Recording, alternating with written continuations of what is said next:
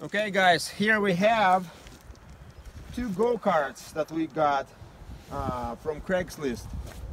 Uh, both of them Honda Odyssey uh, FL250.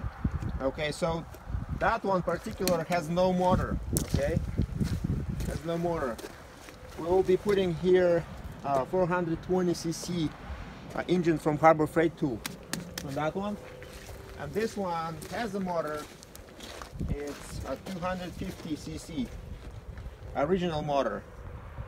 And we're trying to restore it and see which one will run faster. 250 cc versus 420 cc from Harbor Freight Tools. Anyway so that's our project and we'll see how it goes